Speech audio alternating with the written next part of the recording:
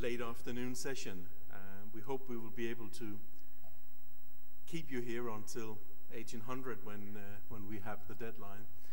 We have a range of, uh, of excellent speakers, um, and I'm, I'm, personally looking very much forward to, uh, to listen uh, to them.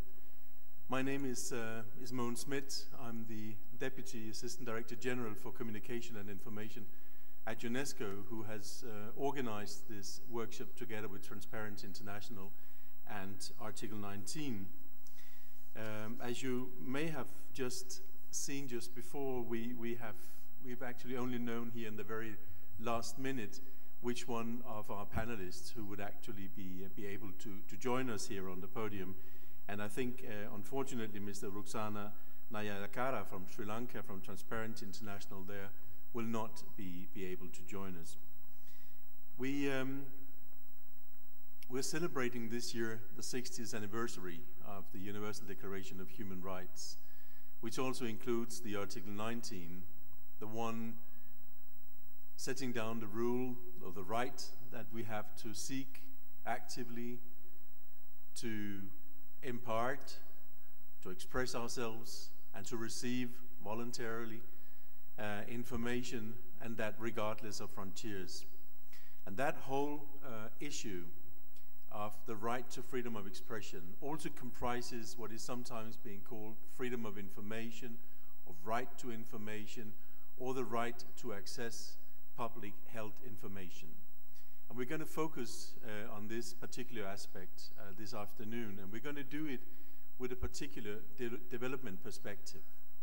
Because we have worked uh, over the last couple of years at UNESCO, and colleagues have worked in, in many universities and many NGOs all over the world in order to establish and to, to really look into the correlations between freedom of expression, good governance, transparency, accountability, and then also development, human development, social and economic development. Um, we are about to publish a book about these issues uh, at UNESCO, and uh, hopefully, we had hoped to be able to bring it here, but unfortunately, we could not. But that will be out very, very soon, and it will be posted uh, also on the, the IGF uh, website so that you will have a chance to, to download it there. It will be for free. We know that many governments have over the last years introduced legislation that allows freedom of information, access to public held information, but also many governments who really do not want to do that, who, who fear about it, who what we think think very backwards about the, the benefits that it will give to actually allow a country's citizens to access the information which is held by the public authorities. We're going to have uh, to start the panel today with, the, with a, a, keynote speech given to us by, by Dr. Ansari, who is the Central Information Commissioner here in India. And I think Dr. Ansari will, will demonstrate to us how the right to information can really be a very powerful tool for empowerment, for uh, mobilization, and for participation, and thus uh, help to ensure a stronger democracy. I think we also know that when we talk about freedom of expression, access to public held information, it's not just about getting the legislation right. It's also about having the legislation applied in its full way. We know from many countries we have very good legislation, but less good uh, application of that legislation. And it's also a matter of building the capacity, both of those who are set to administer this uh, legislation and of those who are supposed to be benefiting from it. And I hope uh, Professor Ansari will take us into both of these uh, aspects. India got its uh, right to information law just three years ago, and we know there has been a surge of requests for information since that law has been put, uh, put into practice. Um, how the internet is playing an active role in this, I think, is also one of the issues that I hope Professor Ansari would, will uh, share his experience on with us. So no more from my side. Professor Ansari, the floor is yours. Thank you.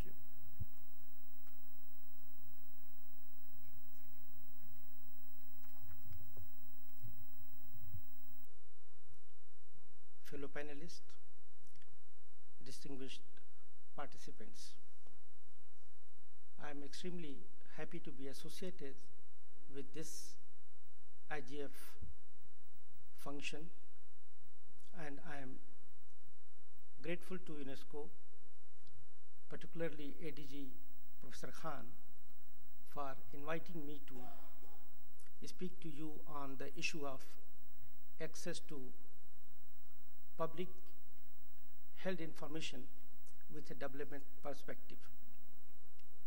As you can see from the topic, the theme itself, access to public held information, and the second part talks about with a development perspective.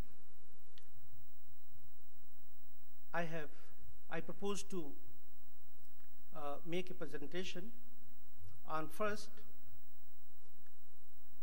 right to information and its relationship with good governance, that is the elements of good governance as identified in the Right to Information Act are transparency, accountability, and containment of corruption.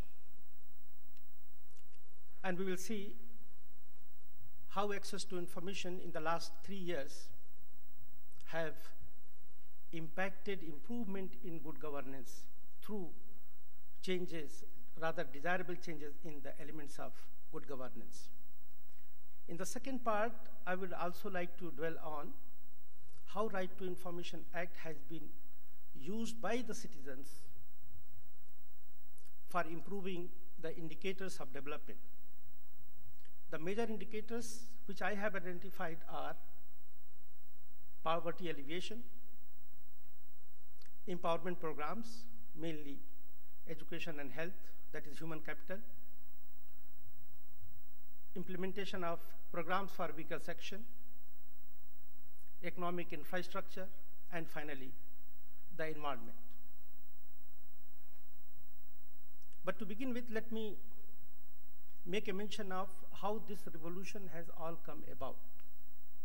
In the first instance, I would like to say that there are some forces, both from within and also outside, which have been impacting the entire development process, and that has led to paradigm shift in development process. As UNESCO has been emphasizing on sharing of knowledge, information, mainly on the ground that the knowledge is critical for development, and therefore the societies, the individuals, and the countries which have more, uh, which have which possess knowledge, which are able to make use of new knowledge and ideas, it is they who are able to forge ahead. So there has been a force being applied both internally as well as from external sources, and the information revolution, the creation and, and uh, what we talk about the knowledge society, that has created a kind of necessity or compelling situation for bringing about in a legislation for allowing free access to information. But at the same time, what we have observed, especially in our India, is that India has been a democratic country and it is well understood that the democracy requires informed citizenry and transparency of information to enable the people to access information, make use of the information for the political and economic participation. So what we have seen is that corresponding to the UN Charter 19, which allows for access to information, freedom of expression and speech, we have under the Constitution of India uh, Section 19, which allowed for uh, freedom of expression and freedom of speech. But we never had right to know. Although this is very much a part in the UN Charter, but in our constitutional provisions, access to information, right to know has never been emphasized as a result of which official secretariat, uh, has dominated. So consequently what happened was that most of the programs that have been implemented throughout the country, they have yielded very poor results. A study by the Planning Commission way back in 89 demonstrated that of the total expenditure being incurred on poverty alleviation program, at least only 15% was reaching to the poor. This was very well announced by the former prime minister and which uh, indicated the extent of corruption in this country. It was also realized that if the corruption is reduced just by another 15%, the allocation of funds for poverty alleviation will go up, rather it will be doubled. And with doubling of outlays on poverty alleviation, that may drastically change the scenario insofar as the poverty alleviations are concerned. So there has been greater demand by the civil society at various fora, including in the election campaigns, for more and more access to information in the same light as the UNESCO or the UN Charter or even the constitutional provision under the 19 has articulated. And therefore, beginning from 1977 to 2004, at least nine of the Indian major states, in one form or the other, they passed some legislation giving legal rights to the people to access information. And it was found that the results were very much encouraging. People began to participa participate in the development process. Uh, there was a two-way sharing of information between the uh, Uh, government departments as well as from the individuals and the people increasingly participated in all the implementation programs. As a result, the outcomes were seen to be much better than what it were before. And therefore, in 2005, the Right to Information Act was passed and it was uniformly implemented in all the states except J&K. Now, since then, we see that there has been a massive response to the RTI Act, and the RTI uh, is harnessed as a tool for accessing information and on the basis of which people begin to participate in the political and economic decision-making processes.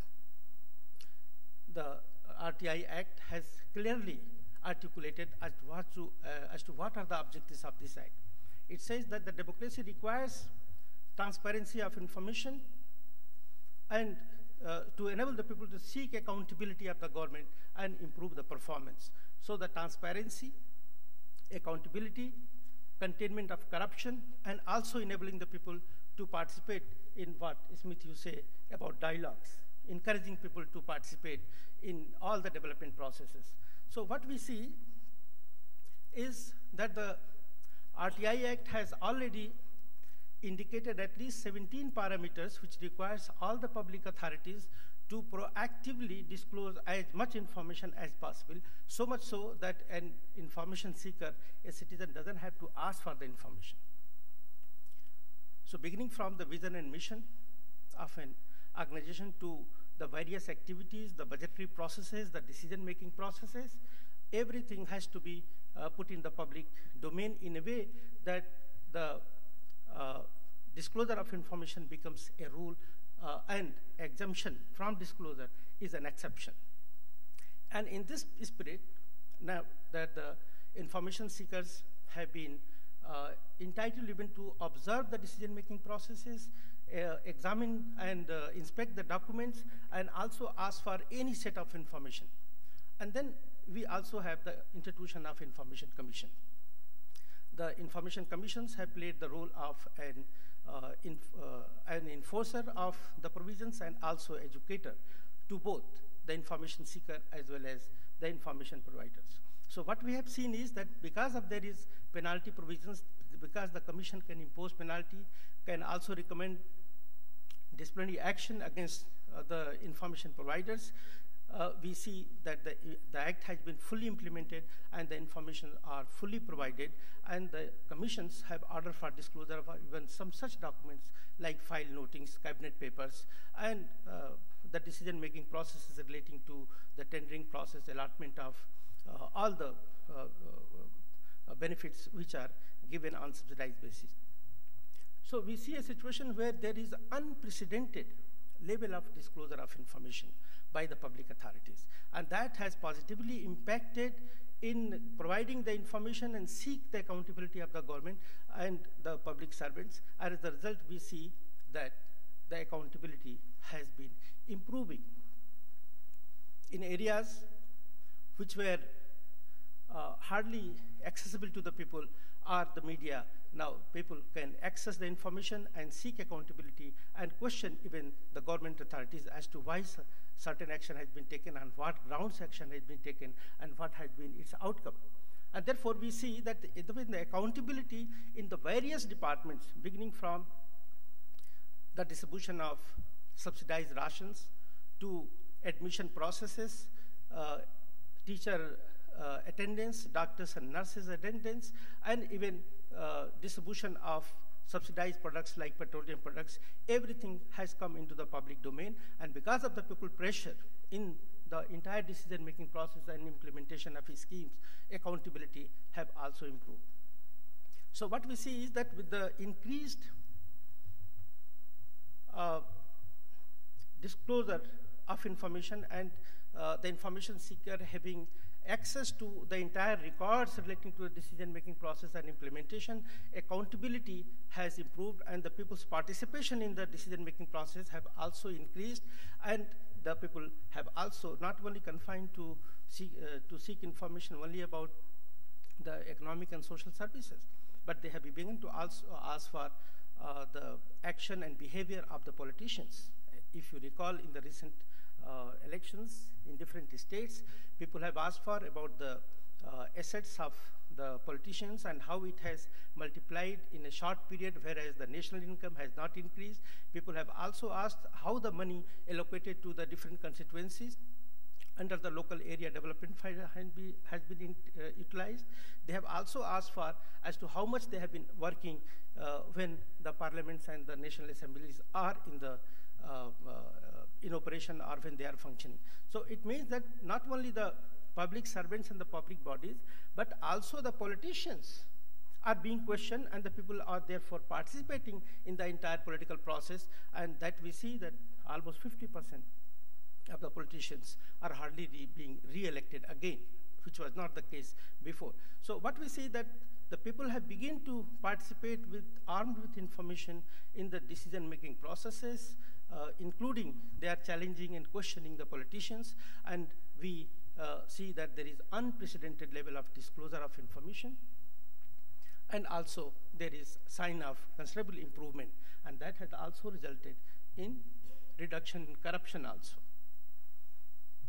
Transparency International has demonstrated that in India in the last three years, the corruption uh, reduction score has improved from 2.99 uh, percentage points to that of 3.44 uh, after an initial rise of 3.5 uh, in two, 2007.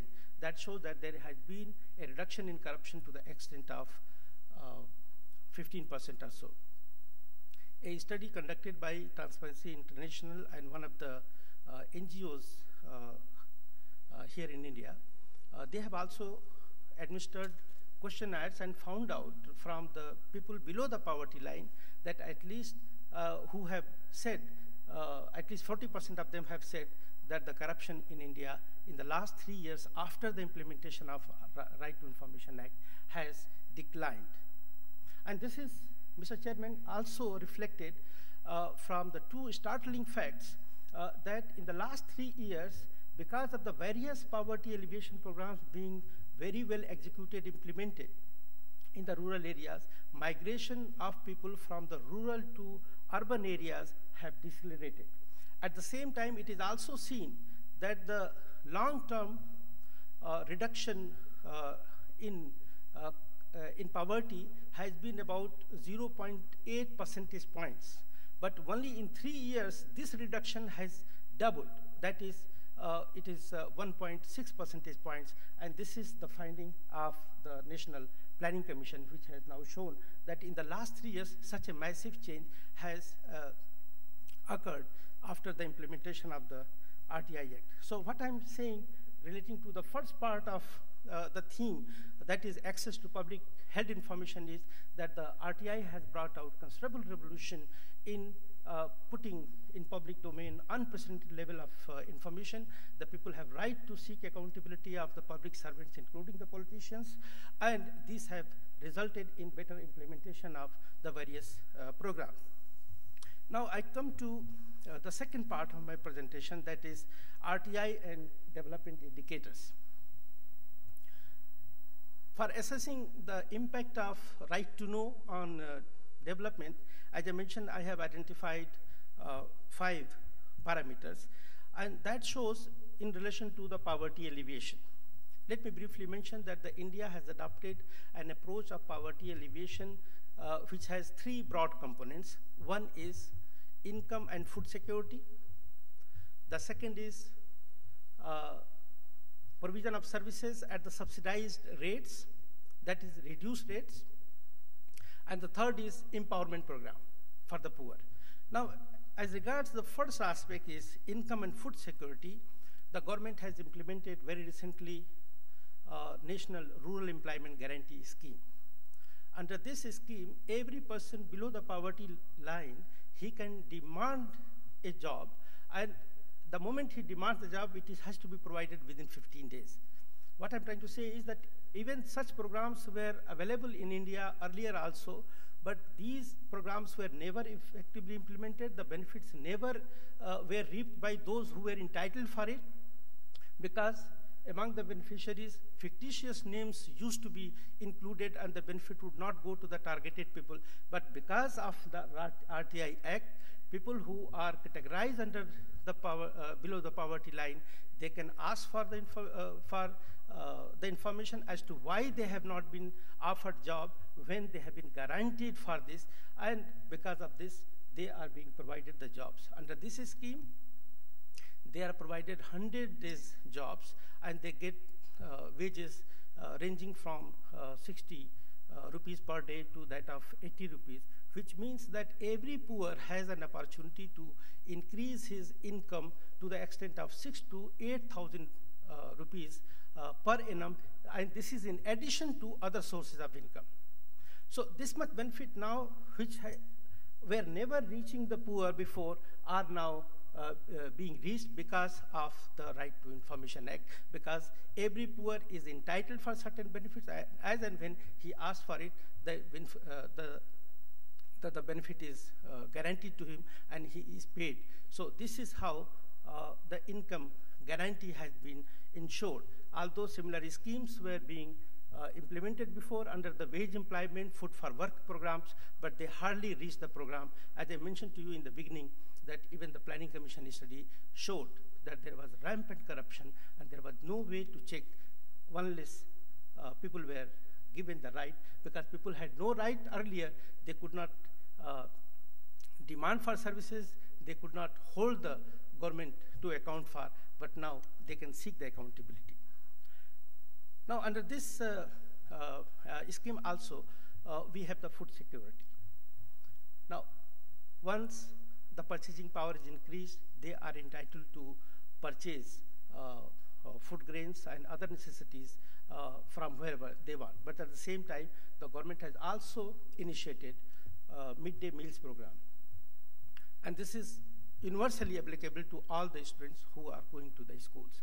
Now people and the parents, teachers, students being aware of this scheme, they have begun to ask for uh, the quality and the quantity of services, and these are being universally provided. So it meets the nutritional deficiency of uh, the students uh, uh, and those families which are not able to provide the meals, they are now able to see that their children are getting proper meals in the school. So as a result, what has happened is that not only the nutritional deficiency has been taken care of, but the learning attainments of students and the dropout of students have also been checked up. So this is an advantage by giving the food security at all the, in all the schools run by uh, the government. For children who are below six years, there is another scheme, integrated child development scheme where nutritional support is provided to them. So we see that the adults are given the jobs, the school-going students are given uh, midday meals. At the same time, small children are also given nutritional support under the ICDS scheme. And at the same time, for the old people, senior citizens, those who are above 60, they are provided old age pension. And that is also a universal program. Anyone who is below the poverty line and uh, is above 60 years, he gets a pension of 500 rupees. In addition, he also gets 10 kgs of food grains per month.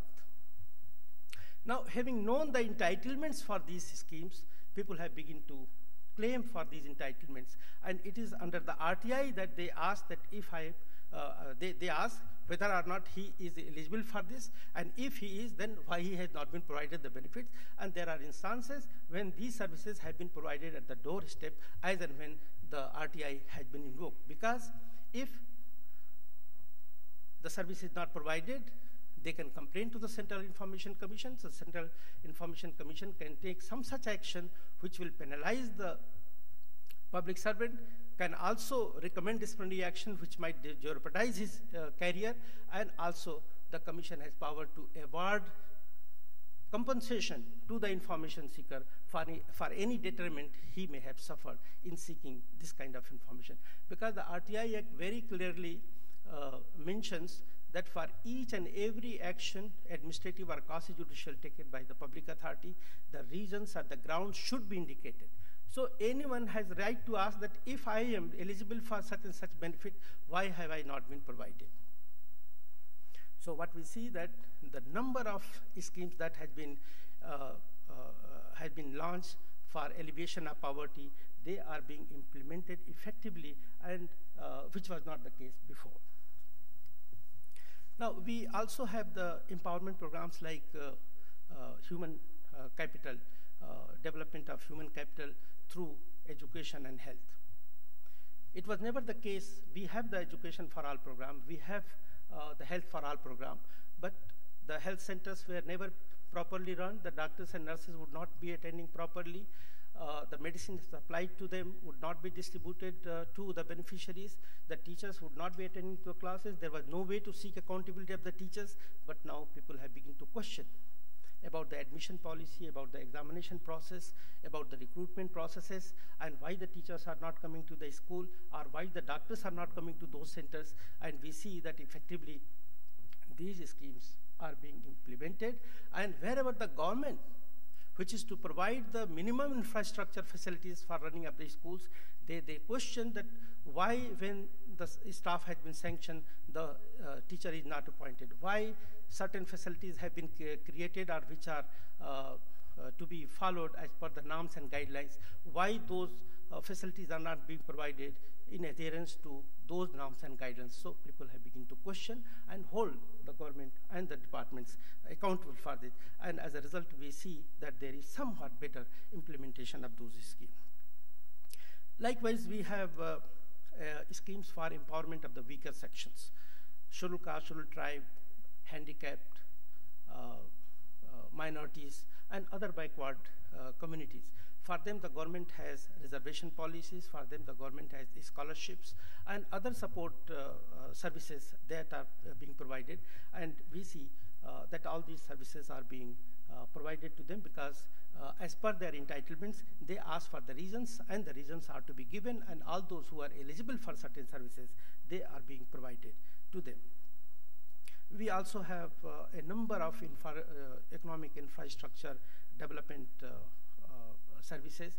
Uh, there are at least more than 250 public sector enterprises and almost uh, many times more than uh, these are the enterprises being run under the state sectors. Now people ask for information about the decision-making processes, the processes of uh, tenders, uh, and uh, also why the accounts and the dues that are due to them are not being settled on time, People do question the banking, the insurance claims, uh, the power sector, and so many other organizations, they question about both.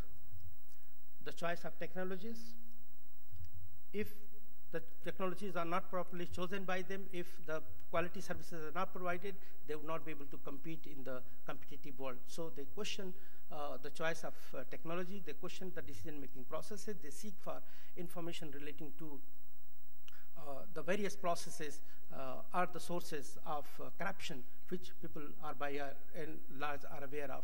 They can also inspect the documents. So this has created a kind of fear in the minds of the decision makers and much of uh, the practices which they had to hide the information under the Secrecy Act, they are not able to do that. And as a result, the information is uh, shared and uh, the corrupt practices have been minimized to a great extent. As I mentioned to you, this is also reflected in uh, the corruption rating scores. Finally, most economic projects especially the manufacturing projects, they have to adhere to certain environmental norms because everybody is entitled for a clean environment. And therefore, they question from the regulatory bodies and from the polluting uni units whether or not they have been following uh, the proper norms and guidelines for adherence to the ecological balance. And wherever there are violations, many of the polluting units have either been closed or have been asked to wind up. And in case they have damaged any way, uh, to the citizens, they have also been asked to uh, pay compensation because it is they uh, who have polluted the environment, they have damaged harms to the health and environment of the community.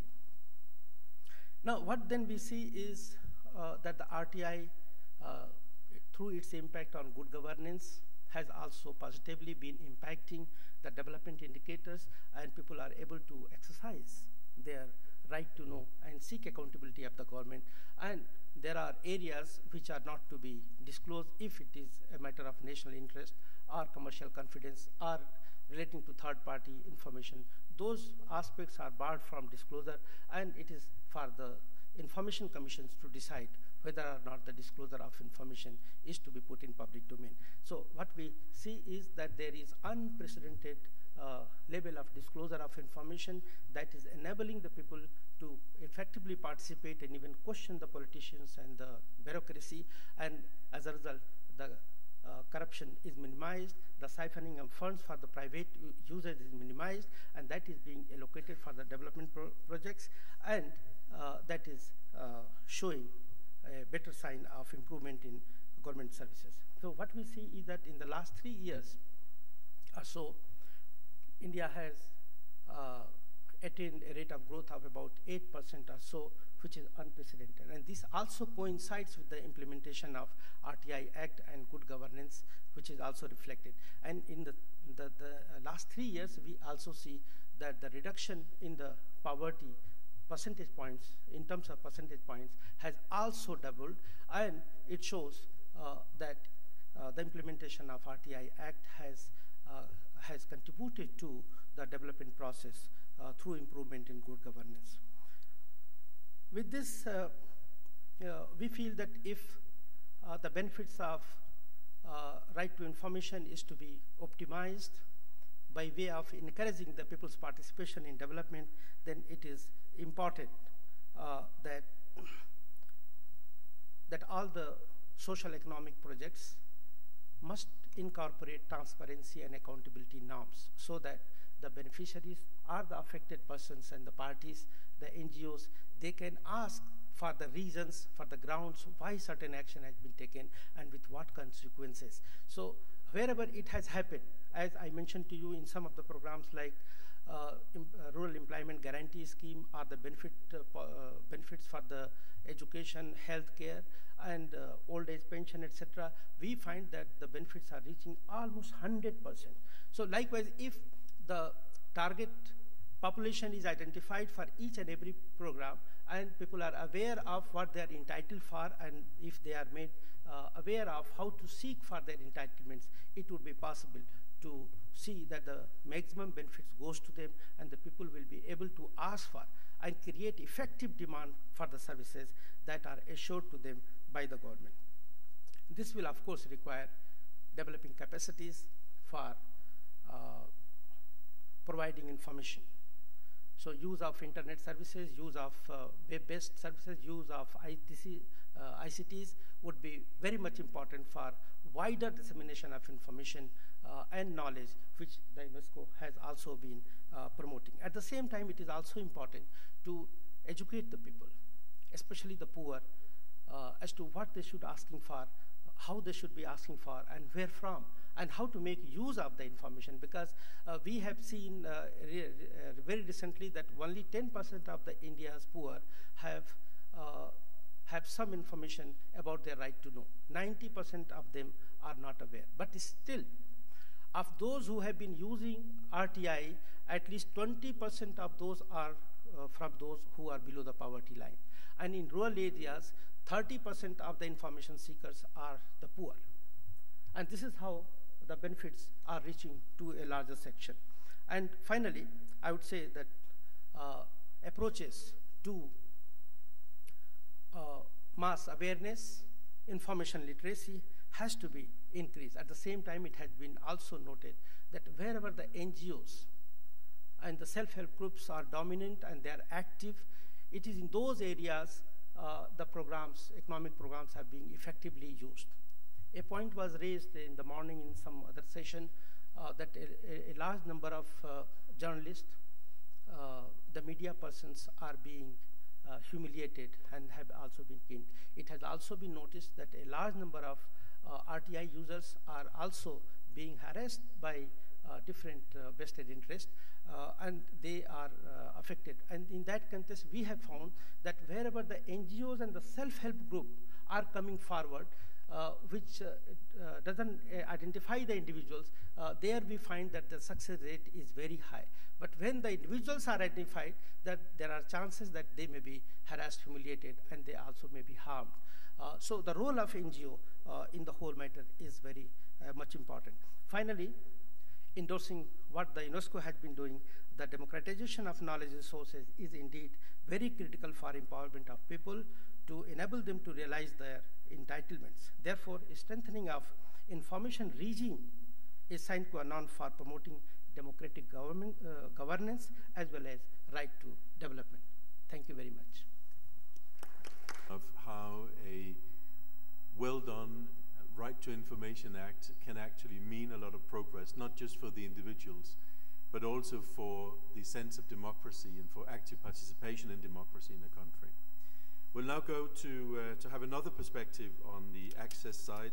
I'm going to ask our next panelist, uh, Nicklas Lundberg, uh, from Sweden to, uh, to take the floor.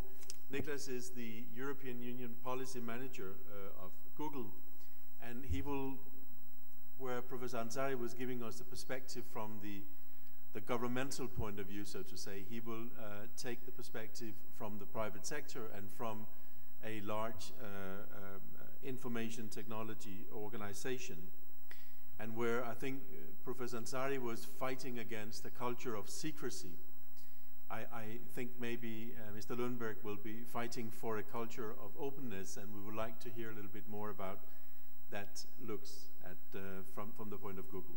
The floor is yours.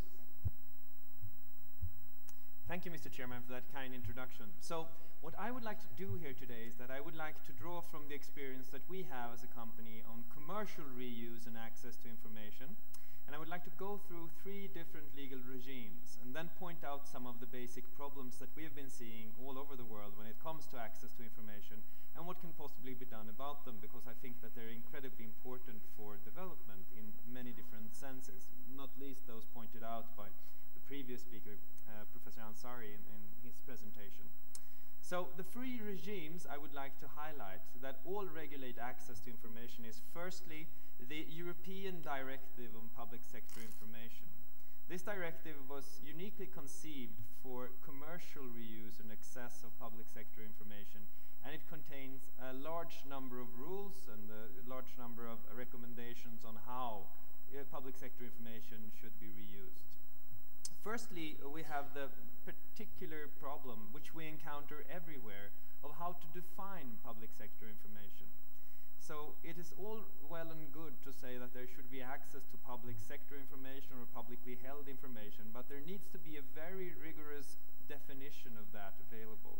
If you look at the European Directive, for example, um, they define this as existing documents held by public sector bodies of the member states which is a fairly wide definition and uh, sometimes uh, even so wide that it is hard for the agencies or bodies that are supposed to follow the rules to actually know if something they're in the possession of is a existing document or not, which is kind of entertaining. So to this rule, the European Union has decided to amend a number of exceptions. These exceptions severely limit the usability of the directive. The first one, of course, is that if a document is held by a public body outside of the public task that that body has, it's not considered publicly held information. Secondly, if it is a document where third parties have intellectual property rights, it's not considered a public document. If it is a document that pertains to the protection of national security, statistical or commercial confidentiality, it is again not publicly held information. If it is a document held by public service broadcasters, it is not publicly held information. If it is a document held by educational or research establishments, it is not a publicly held information. If it is a document held by cultural establishments, it is again not publicly held information. As you understand, this directive offers very little usefulness from a term of development, where, for example, education or different kinds of research or access to knowledge would be one of the chief main pieces of any kind of policy. So the directive is exclusively concentrating on commercial reuse. It sets up a few rules of procedure. Um, when a request is received by a public body, it should respond, if at all possible, electronically. It should give a license within a reasonable time. The directive mentions 20 days as reasonable. If they deny access, they should explain and there should be the right of redress and appeal. Conditions under which you are allowed to reuse under the directive are that you should, if at all possible, get this in electronic format. And I think this is important, even if I know that in many countries electronically available information will not be an option at all. I think that where it is available or where that is an option, it is a huge help for transparency. Um, secondly, they set out rules for principles for pricing. And this is important, I think. Even though when we speak of public access to publicly held information, we usually think that there should be no cost involved. Almost everywhere, there is a cost imposed on they who request that information. So what regime you choose for cost or for pricing is extremely important. The European Union has chosen what is usually called the cost recovery scheme, which means that every public body should be able to charge the exact amount it costs them to produce that information. Now, this is diametrically different from, for example, the US, who have chosen a model usually referred to as the marginal cost of distribution. That is, they will only charge citizens what it costs them to distribute the information, not produce it. And these small but important decisions will actually decide very much of uh, the level of public access you gain both commercially and non-commercially, so they're important for, for both perspectives. You could, of course, decide that any kind of public access should be cost-free. That would be a radical uh, decision. But very few countries um, have, as far as we have seen, decided this even for their individual citizens. Uh, there are also requirements on openness, standardized licenses, and of course that there should be no discrimination in competition. So this is the first legal regime I would like to mention. It's the European legal regime. It's for commercial reuse. The second one is something called the OECD recommendation of the Council for Enhanced Access and More Effective Use of Public Sector Information. It was adopted by the OECD countries in Seoul this summer, and it sets out a series of rules on how to enhance access and more effectively allow reuse for information. This does not limit itself to commercial reuse. This is reuse in any kind of way, it's access in any kind of way. The principles set out by the OECD include openness, trans transparent access and reuse conditions, asset lists, and this is incredibly important. As I will return to later, there is no use of having a principle of public access if you don't know what you have access to. Really important stuff. Quality of the information, also an enormously important factor. If there is public access to information, and you know what information it is, but you do not know the quality, when it was last updated, for example, or what kind of information, how it was generated, collected, if you have no of those, none of those variables on the table, it's very hard to assess the quality of the information. Integrity, how do you know that this information has not been tampered with? Again, the OECD sets out a number of rules and recommendations on how to ensure the integrity of the information. If you really want to rule out corruption, of course, you should make sure that the body of public information you're allowing access to cannot be tampered with. Otherwise, corruption will simply move one step backwards to the level of generation of public in, uh, in information. Again, long-term preservation, archives, archival principles are also extremely important when it comes to public information. The usefulness of a principle of public access, if archives do not exist, is very, very low. Next point they have is that they think there's a need to enhance access even if there is a third-party copyright holder. They think that pricing should at least strive towards the marginal cost distribution model They believe it would be good with competition where there is commercial reuse. So if you allow for commercial reuse, which I think is good also for development perspective, because there is definitely a market in providing information about what public bodies do. They, um, they uh, provide the rules on redress mechanisms, how to design public-private partnerships for digitization. Again, a very important area where UNESCO is very active. Where, where I also think that um, there's a huge gain to be made by public-private partnerships in digitization of cultural materials. They provide rules on international access. And this is important because when we speak of public access to information, we don't only speak about information held within national boundaries of a country. It could be equally important to allow, for example, the export of education from one country to another in terms of online services.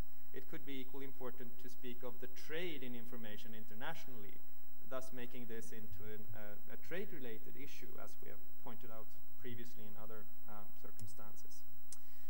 So that's the second regime I'd like to point out. The third I have is the Swedish principle of public access and publicity. It's a 200-year-old process. It's common to the Scandinavian countries. And this principle basically says that you have, as a citizen of Sweden, right of access to all official documents that have not been classified. That means that you have the right to partake of a wide variety of documents. Among those documents you have the right to partake of are tax returns, school grades, not only of officials but every other citizen, the email logs of officials, the cookies set on computers of officials. It's an incredibly wide principle. It's not designed at all for commercial reuse, but it is uh, one of the perhaps oldest principles of publicity or public access in the world. Now, it's interesting to have all these three legal regimes in mind when I speak about the problems we encounter. Because if you take a country like Sweden, I'm going to use Sweden as an example, they have signed on to the OECD recommendations, they are party to the European Directive on Public Sector Information, and they have a 200-year-old established principle of public access. Yet still, the problems I mentioned are encountered in this country all the time. So they could be relevant problems to any country trying to develop their own regime of public access. Now, among the lessons we find is that asset lists, as I previously mentioned, are enormously important. We need to have them for every public agency in order to make sure that we know what kind of information they hold. The second problem we encounter very often is legacy licenses, material within public bodies which has been licensed from a third party and they're not you will not allow transformative use in many cases. So if you are allowed to license, for example, a map, you're not allowed to do what you want with that map. You must keep it in one format because of the licenses afforded under the public access or the PSI directive.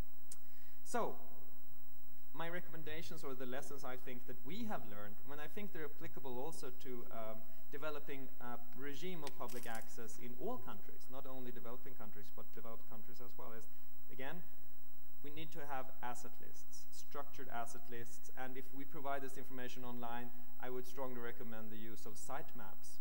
We know that in the US, for example, 60% of all citizens first go to a search engine when they want to reach a public agency.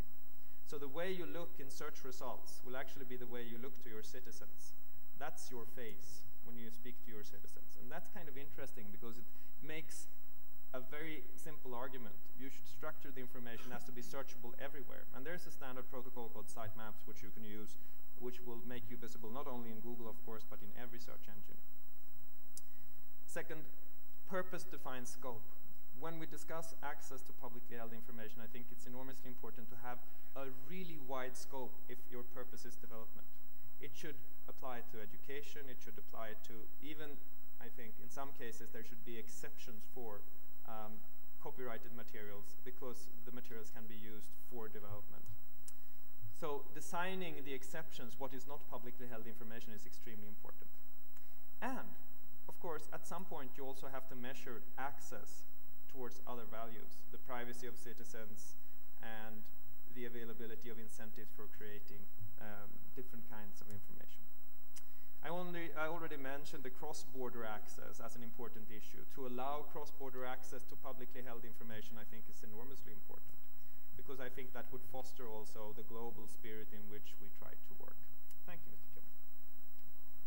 Comprehensive overview of the um, some of the existing legal frameworks that we are, leaning onto, and also the disclosure of how far behind the European Union is actually with its information, uh, right to information regime as it is right now.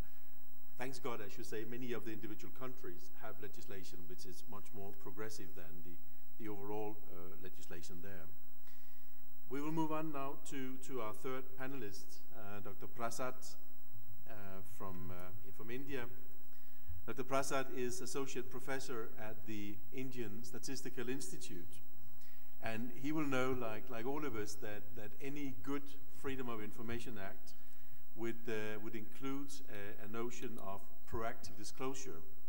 It may also include uh, the aspect that public bodies should elaborate the information so that is accessible also to, to ordinary citizens, to non-scientists. And Professor Prasad, you are a statistician, and statistics is the science pertaining to the collection, the analysis, the interpretation or explanation, and presentation of, of information. And Mr. Lundblad just, uh, Lundberg just spoke about the, the necessity of being very, very cautious with the quality when you're generating the information that will be, so to say, funneled into what is public held information. What's the quality control for the Indian Statistical Institute? What's the uh, non-tampered information that you provide to Dr. Ansari so that the ordinary Indian citizen can have access to the correct information about what goes on in this country? The floor is yours. Uh, thank you, Mr. Chairman, uh, uh, for your generous introduction. But again, unfortunately, I had to correct it. I belong to library science, though the institute is Indian Statistical Institute. I hardly know statistics. okay. Uh, though we have a division and uh, the institute uh, is, uh, can claim that uh, it is one of the first institutes uh, which emphasized on statistical quality control, though ISOs, I mean, quality ones are talked now. From 60s, the institute is working on quality control. But again, uh, as a, a, library science person, I am more interested in uh, the role of libraries uh, in uh, making people aware of the information that is available. Um, in fact, uh, the yesterday discussion when I was uh, and, one of the audience, everybody was talking about the next billion and the internet. But again, we have to accept that internet is, the information on the internet is accessible only to the educated people and the so-called computer literates. And hardly it is available to many non-literates and even those who are literates, if they don't know how to use a computer or a browser, the information is not reachable. Okay, so I would like to the, touch upon uh, three aspects. One is the philosophical issues and the Indian context and the role of public libraries. Okay, and then um, it's interesting to listen to uh, Nick about uh, the the scope of public information, but uh, I would like to extend the scope uh, uh, to the private sector information also of the industry, private industry and other things. After all, private industry is part of the society and people have every right to know how it is functioning. Because we know in India, there are many controversies that uh, the, the way some of the industry is unscrupulously uh, leaving a lot of uh, pollution into the rivers and how much they are leaving out and uh, whether they have their own self-assessment of uh, how much pollutants they are releasing and uh, whether it can be questioned at some point uh, and their claims and rather false claims. So that way, I feel uh, the, the public held information, not only the government, uh, even the private sector information also should be made available to the public. Okay. So, I mean, public organizations, and here Dr. Ansari has mentioned uh, the benefits of uh, the government plans and when through RTI, when the act is implemented, how much benefit India has, the Indian public has achieved by making RTI implemented. So any organization which is uh, using public money should be made, the information about them should be made available. So the industry also, as I have pointed out, uh, it is part of the society. It can have both uh, positive and negative impact on the society, just as the government also can have positive and negative impact on the society. People should be able to access its merits so that they can assess its presence in the society, whether it is valid to be existent, I mean, uh, to exist further, and whether it is harmful to have such an industry around, or even it is harmful to have such a government around. We know that political philosophers like John Locke used it to argue how to recall the government if, uh, if the subjects find it uh, uh, more harmful to the public. Next. so we know that uh, the Right to Information Act uh, uh, has actually, when I went through, one condition that RTA Act of India includes information relating to any private body which can be accessed by public authority. Okay, that mean I, I really do not know. Of course, Dr. Ansari would be the right person to tell whether RTA can be extended to uh, information about uh, the private industry or private business organizations. Next. So we know that uh, this is uh, a very, very, very thin line to differentiate uh, uh, I know that many people try to say that this is secrecy, just as Ansari has mentioned that in the name of official secrecy, everything is kept secret from the public. So very difficult to, I mean, define what is uh, secure information, what is insecure information, what can be extended, and appeals, of course, uh, would be there finally. It is true, but again, if you look into the RTI site, of uh, the India, the somewhere it is written appeals can be answered as there are many many appeals. It may take almost a year to address to the appeals. That means if somebody doesn't give information, and if we finally approach the commission, and we know that in, the India, in India the judicial system is uh, highly, highly um, delayed justice. Okay, some of the cases run into decades. And though it is uh, the shortage of uh, the judges or anything. So if RTI demands uh, within a month, uh, the answer should be provided by the organization, but commission almost, I think, piling up a lot of complaints. Okay, next. so the, the philosophical questions, rather political philosophical questions are uh, how the subjects, uh, the governments got in, alienated uh, with the subjects. We know that in the democracy, it is the people who elect the government. But uh, in practice, uh, most of the time, what happens is uh, the government employees, they, be, they behave, they are the custodians of law, and their job is to protect law, and as if the entire subjects are criminals, and they, they dictate terms to the public rather than uh, they have forgotten they are funded by the public and uh, they are answerable to the public. That way, RTI is uh, a, a big progress in the direction where people are also equipped to question back. So definitely, as uh, he has uh, uh, given statistical figures, transparency is very, very important. Okay, I mean, I always believe, though it goes um, uh, too much uh, stretching, why should one uh, have secrecy? Even private information, unless I did something, I don't have to be secretive about uh, my activities.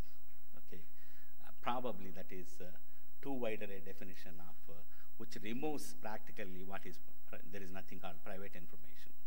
But these definitions, we know that are highly debatable.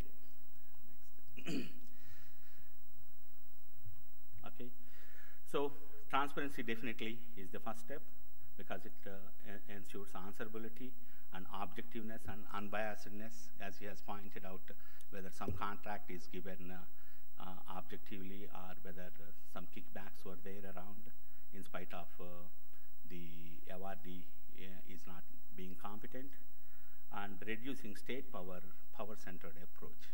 Okay, state is uh, looked as uh, a powerful organization which is uh, practically scaring the ordinary citizens. Okay, I mean like uh, something like uh, Leviathan of Tha- Thomas Hobbes, uh, if, Hobbes, if you look in, I think states should be, should not be, I think, a- an imposing power. After all, it is meant for the people. So we know that uh, there is a world Edo that power corrupts and absolute power corrupts uh, absolutely. But again, obviously, this uh, they meant the people having power, but not the, the general public. Next.